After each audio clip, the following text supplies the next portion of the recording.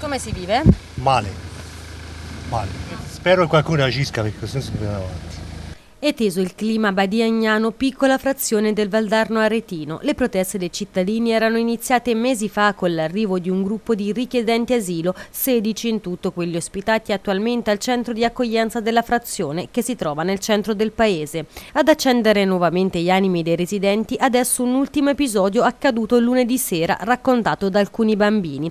I contorni della vicenda sono ancora tutti da chiarire ma stando al racconto dei piccoli che si trovavano di fronte al centro di accoglienza due migranti sarebbero stati visti in atti osceni, racconto riportato poi dai bambini e genitori che a loro volta hanno avvertito il sindaco e i carabinieri. Di questi bambini hanno raccontato ai loro genitori con preoccupazione, ci hanno raccontato i genitori di aver visto eh, atti osceni e non entro nei particolari, eh, c'è l'accertamento dell'autorità giudiziaria, eh, ci saranno ovviamente riscontri a quello che viene raccontato, ma certamente è un atto eh, che turba Adesso spetterà ai carabinieri ricostruire l'intera vicenda non ancora del tutto chiara, ma indubbiamente in paese si respira aria di tensione. Stando a quello che hanno affermato questi bambini che hanno parlato con i loro genitori ieri sera è di una gravità inaudita. Indubbiamente non sono tollerabili queste cose, assolutamente, soprattutto in un paesino tranquillo come il nostro. In paese c'è anche chi la pensa in maniera diversa. Questo dico che appena è venuta questa storia fuori non aspettavano altro, non aspettavano altro che ci potesse essere il capo espiatorio